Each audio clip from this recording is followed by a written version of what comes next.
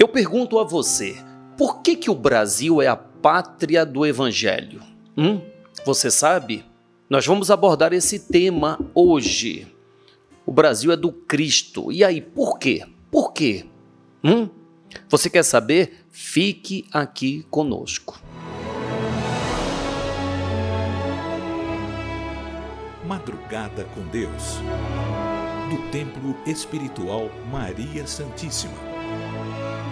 Aproximando a espiritualidade de você.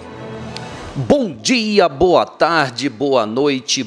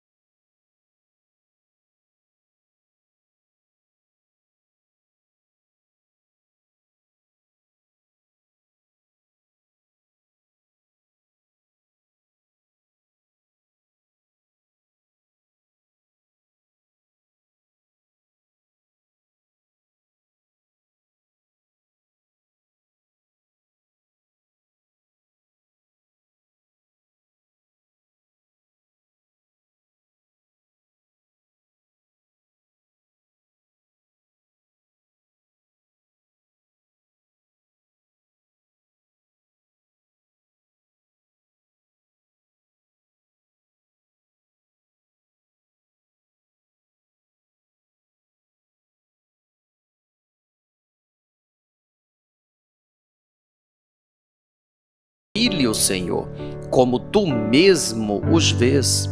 E assim não vê senão bem que há em cada um deles. Senhor, fecha os nossos ouvidos a toda calúnia.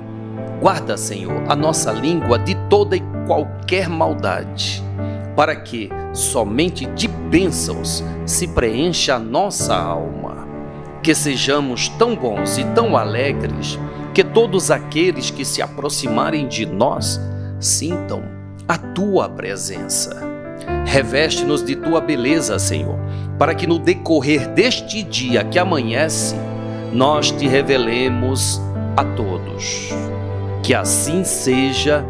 Amém, amém e amém.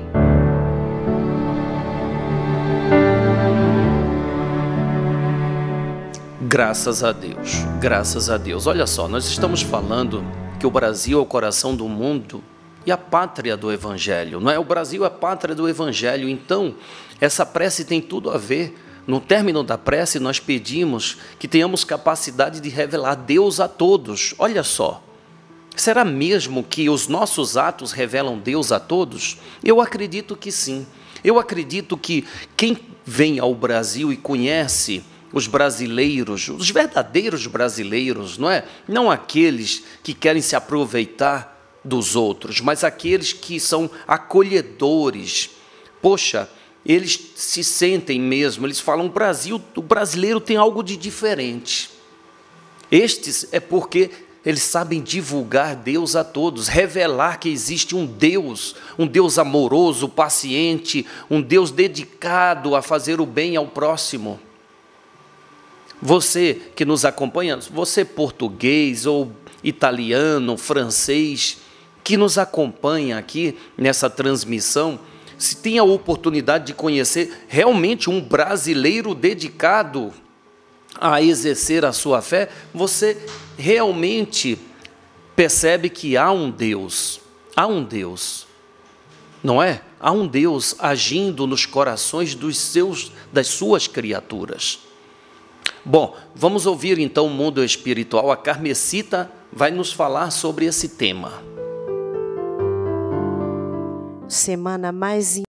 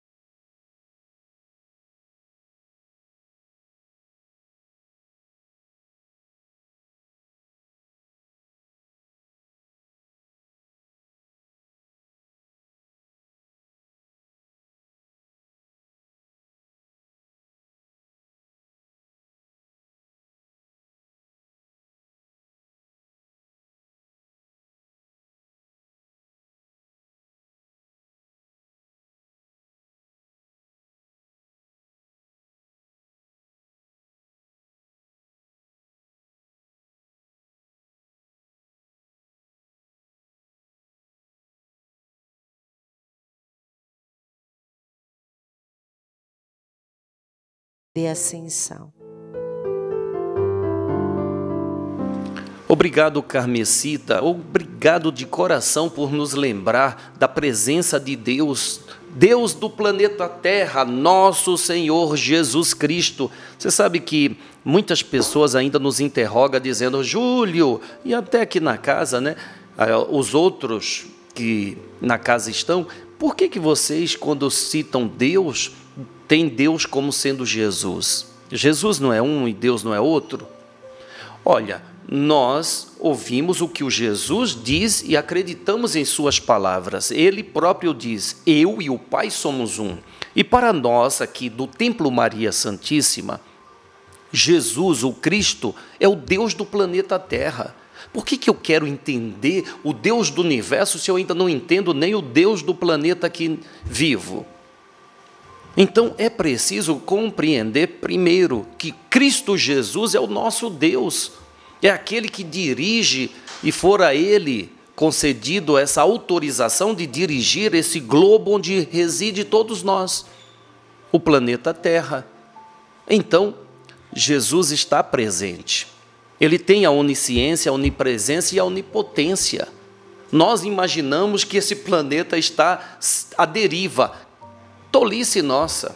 Tolice das mentes que acham que um planeta está à deriva e que o mal está reinando e dominando e esse planeta vai ser levado à explosão por causa de mentes ignorantes. Mente ignorante pensa nisso ou acredita nisso. Não, esse planeta tem um dirigente, ele é o Cristo planetário, ele é o Deus desse planeta e tem todo em suas mãos. Mas, respeitando a lei do livre-arbítrio, o ignorante exerce a sua ignorância até o limite concedido a ele para ele aprender. Mas a partir do momento em que ele excede o limite, o que, que acontece? Ele é expurgado do planeta. Como vem acontecendo, como está relatado na Bíblia, o último livro da Bíblia Sagrada, o Apocalipse, a revelação de que, olha, você é livre para fazer todas as tolices que quiser, mas tem um limite. Se você não se corrigir das suas ignorâncias, você será expurgado do planeta Terra para ter oportunidade de aprender em outro orbe. Ponto. Nós sabemos que o Cristo tem nas mãos todas as informações para o bem do planeta, para o bem daqueles que querem viver num planeta melhor. Ponto. É o seu caso? É o meu. Ah, eu trabalho para que um planeta torne-se melhor e para que eu seja digno de viver nesse planeta, eu estou trabalhando para o meu, a me, minha melhora. Entendeu? Bom, Vamos dar seguimento a essa aula de Carmesita. Preste atenção. Mais um trecho com a espiritualidade.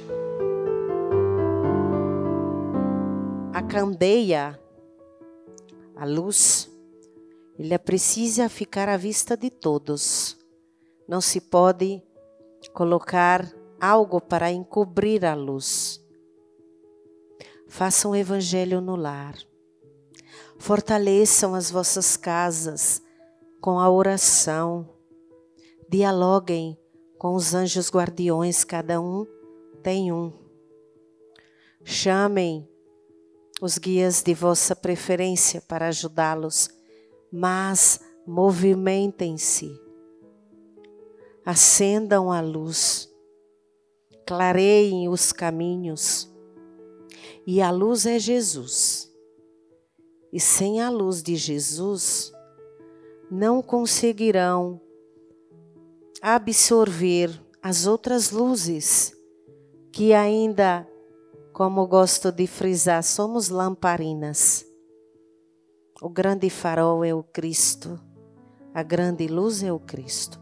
Somos pequenas lamparinas, buscando acender as velas que existem em cada coração para também serem lamparinas. Uma coisa vos digo: não há nada melhor do que estar em busca de Jesus, acendendo ainda uma lamparina, mas com a esperança de sermos um farol. Quando o Espírito ele fala da luz de Jesus, o que é a luz, senão o conhecimento que Jesus oferece? Ah, Jesus me oferece a luz. Jesus está me oferecendo o conhecimento. O que é a luz na cabeça de um ser? Senão o conhecimento que faz ele enxergar além, sabe? Tira a pessoa da escuridão. O que é escuridão? Senão a falta de compreensão, a falta de conhecimento. A ignorância é escuridão. Então, quando diz que Jesus é a luz, é porque Jesus ele tem o conhecimento e nos oferece esse conhecimento. Porém, olha só, uma vez nosso irmão Juan Domingues ele disse o seguinte: olha só, muitos buscam Jesus como referência e tem Jesus à sua frente. Mas se a luz estiver à frente, olha a lógica, se a luz estiver à frente, essa grande luminosidade, ela vai sim, ela vai irradiar em você. Então essa luz vem até você e o que que forma atrás de você? Se tem uma luz aqui, o que é que forma atrás? Sombra. Lógico. Só forma uma sombra. É nessa sombra que o mal se esconde e te atinge. Por isso que nós dizemos sempre que o mal chega sorrateiramente por trás. Porém, se você pega essa luz que está em sua frente e coloca dentro de você, você se torna luz. Então a luz não tem sombra, porque ela é geradora de luz para os 360 graus, certo? Para todo o, o redor de você. Quando nós dizemos, não adianta apenas pregar o evangelho, é hora de viver o evangelho, é porque porque você se faz luz, como disse Carmesita, né? Que seja uma lamparina, mas uma lamparina não tem sombra. Ela não tem sombra porque ela gera uma pequenina luz. A partir do momento em que exercemos sim o evangelho de Jesus na prática, nós nos tornamos essa lamparina. Entre estas lamparinas, quer ver um exemplo? Onde o mal entra na sua vida? Pela mágoa, pela revolta, não é? Pela intolerância, pela arrogância, pela impaciência. É a porta, são portas de entrada do mal. A partir do momento em que você aplica os exemplos, os ensinamentos e exemplos de Jesus, você para de ser arrogante, de ser prepotente. Para, você para de ser impaciente, porque fora isso que Jesus nos ensinou e exemplificou. Então, para que discutir com o ignorante? Por que não aplicar os ensinamentos de Jesus? Diante da ignorante, do ignorante, cale-se. Deixa o ignorante ficar discutindo sozinho. Para quê? Não é? Ah, não, a minha religião está certa, então eu tenho que impor a minha religião. Para quê? Jesus pregou religião? Ele foi lá junto aos, aos sinedritas e dizer: Não, eu estou certo, vocês estão errados? Não, não. Ele foi aos samaritanos dizer para os samaritanos que eles estavam errados? Não. Jesus apenas amou todos igualmente. Tanto que fora até até pelos próprios seguidores criticado. Pô, Jesus, caramba, você está ficando doido? Por quê? Porque eles ainda não tinham este amor incondicional que o Cristo veio pregar. Agora, nós temos que fazer o mesmo, lógico. Não adianta bater no peito, eu sou cristão, eu sou cristão, ó, sou cristão. Mas na hora de exercer a cristandade, ah, não, peraí. Sou cristão com quem, com quem é, comunga da minha mesma crença. Ué, se eu sou cristão, eu tenho que agir como Cristo agiu, não é? Ou eu estou me iludindo, não é mesmo? Obrigado, Carmesita, obrigado. Que sejamos a luz, a luz de Cristo em nós, né? uma lamparina que for, certo? A dica de hoje é o óleo de rosas. Ele trabalha o equilíbrio emocional, fortalece o chakra cardíaco, que está ligado às emoções, facilita a prática do amor e perdão no lar. Olha aí, como ensinou o próprio Cristo Jesus. Então, essa é a dica.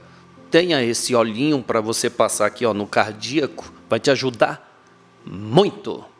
Livro dos Espíritos, nós estamos na questão 96, que tem a ver com o tema. Olha só que pergunta. Vê se essa dúvida você traz consigo. Os espíritos são todos iguais ou tem hierarquia?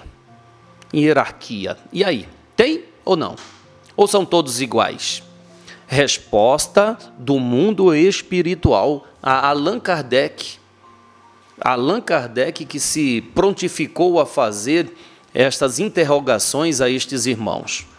Vamos lá.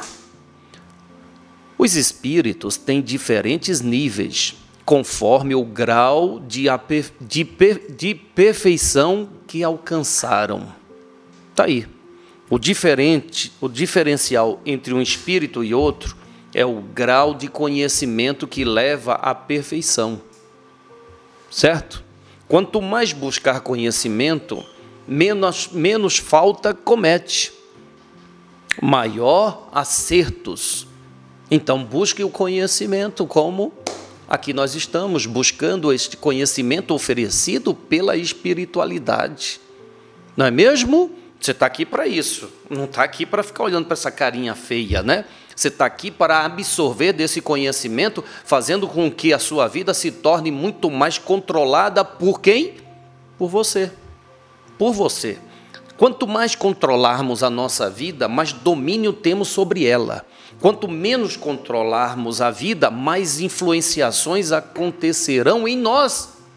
E nós não queremos isso, não é mesmo? Pois se Jesus ele pregou a libertação, não é de um povo, mas sim da humanidade. E a humanidade deve se libertar de quê? Qual é a ferramenta mais escravagista do mundo, senão a ignorância? Não é mesmo? Luz nas sombras, tem tudo a ver né, com o tema de hoje. Luz nas sombras. Jeane ela vem todas as sextas-feiras, não, a cada 15 dias, né? Ela vem trazendo conhecimento que nos tira das sombras da escuridão ou da ignorância. Vamos lá, Jeane, um corte. E João, no deserto, ele batizava no Rio Jordão e dizia alto e bom som. Por isso que narra Humberto de Campos que João Batista foi a voz do deserto, que ele clamava e as próprias escrituras narravam, voz que clama do deserto, endireitai os caminhos do Senhor. Ele a todo tempo convidava todos os seus seguidores para um caminho diferente, um caminho que nem ele mesmo ainda tinha certeza do que era, mas preparado como estava João, ao ver Jesus se aproximar, ele sentiu em seu coração que o Filho de Deus estava ali com ele.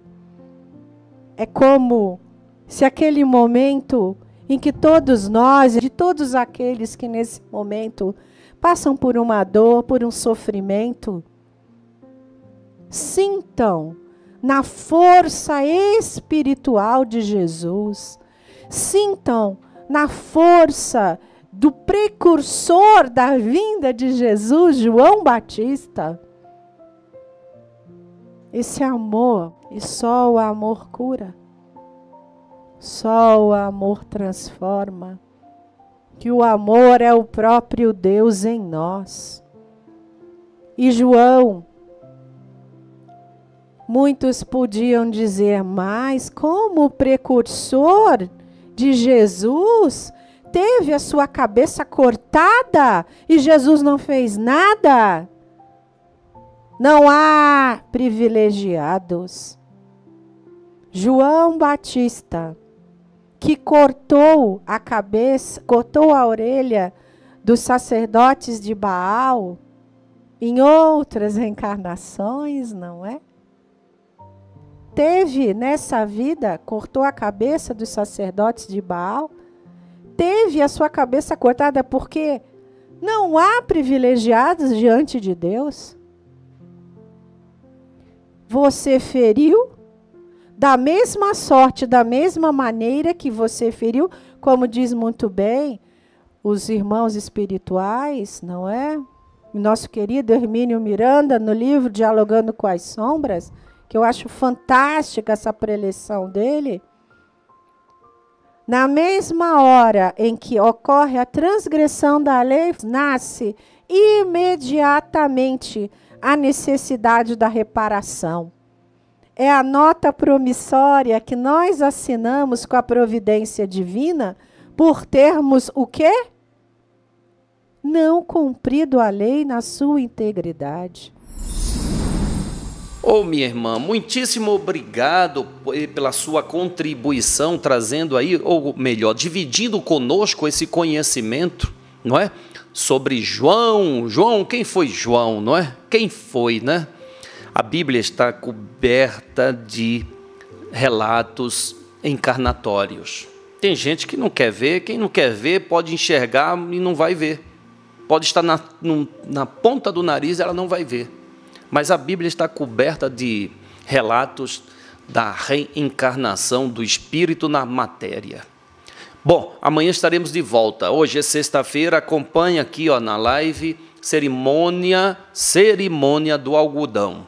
Acompanha, acompanha aqui, tá bom? Obrigado pela sua presença. Convido a você a fazer parte, convido a você a arregaçar as mangas e vamos pregar. Vamos falar do evangelho. Vamos transformar esse Brasil no coração do mundo. Transformar não, ele já é. Mas vamos nós, vamos nós fazer parte. Fazer parte. Então eu te convido, ajuda esta casa. Ah, Júlio, eu não sei pregar. Então, quer ver? Você sabe pregar? Quando você divide uma mensagem boa, você está pregando sim. Pregando bem. Pregando bem, claro que sabe pregar. Falar de Deus, não sabe? Falar do amor, não sabe?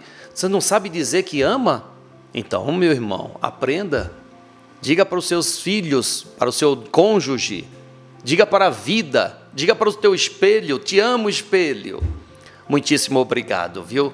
Obrigado mesmo pelas manhãs, pelas madrugadas, por este momento de interação, né, de soma, de sentimento. Muitíssimo obrigado. Amanhã estaremos de volta, ó. Meu forte abraço. Que a paz de Deus, do Cristo e de Maria Santíssima esteja agora e sempre em nossos corações. Salve Jesus, salve Maria Santíssima.